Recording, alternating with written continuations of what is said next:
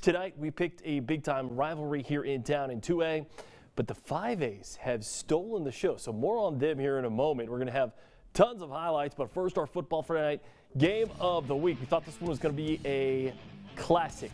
Dunham at number seven Episcopal.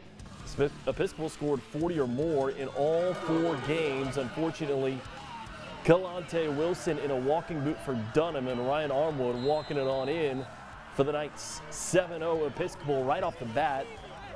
And then Dylan Marocha with the shuttle pass to Armwood, the big fella. Not just big, very, very fast, very balanced, just an overall really good looking running back. 14 zip just like that. yes, the student section was out. Okay, Tigers, can you get something going? Yeah. Interception going the other way. Jack Oliver on the return, and Marocha would take advantage. Just go ahead and air it out to the big fella. His name, Peyton Pontiff, and you give him time. There you go. Reaching across the goal line. Two-point conversion makes it 22 zip at Episcopal. Just even before the second quarter even starts, they're up by three touchdowns. Armwood gets another opportunity here in the second, and it's 29 zip with 2.32 left to go in the second quarter. Now after a fumble on the kickoff by the Tigers, boy, can't make more mistakes. We're just going to keep piling on, and we thought this was going to be the Football Friday Night Game of the Week, is the Football Friday Night Coming Out Party of the Week for Mr. Armwood and the Episcopal Knights.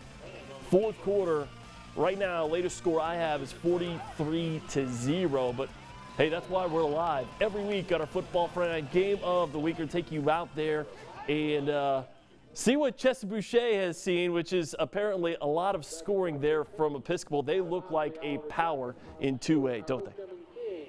Alan Stewart.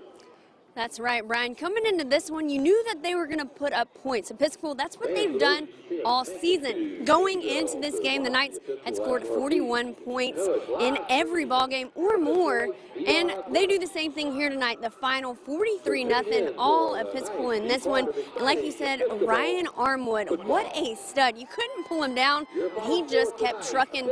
The Knights put up 22 points in the first half. They took a 36 nothing halftime lead and then came out in the third and scored in their first possession of the ball, or in the second half, and it was just all Knights in this one. Dunham just didn't have an answer for this offense that the Knights are running out here. It was just a ball game. They just ran all over the Tigers. The Tigers couldn't get anything going offensively, and of course the Knights, well, you couldn't stop them offensively. Like you said, Ryan Armwood just a stud, doing it on the ground, doing it in the air. And also, we got to talk about Dylan Marocha. He also had one rushing touchdown and one passing touchdown. He is the one who scored the rushing touchdown in the third quarter. And again, the final score 43 nothing. I'm going to try to catch up with head coach Travis Bourgeois here in a second. But for, for now, Brian, I'll send it back to you.